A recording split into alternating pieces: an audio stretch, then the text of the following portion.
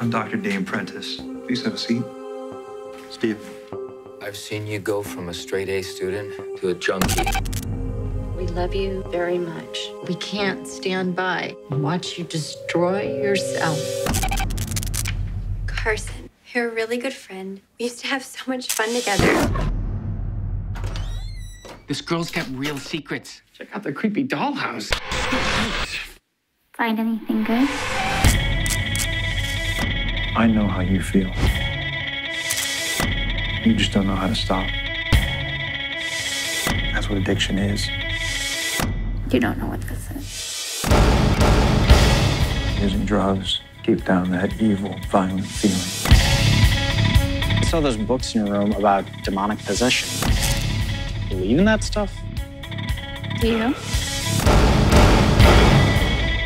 Codex Demonis.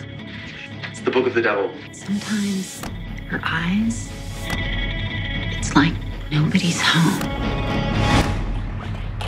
I'm trying to warn I you. appreciate it. Welcome to Hope Center. You're gonna be okay. You're in the right place. It gets worse before it gets better.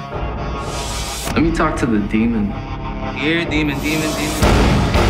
Tina misses you in hell, What? and she's waiting. You fixed her last shot. How do you know about Tina?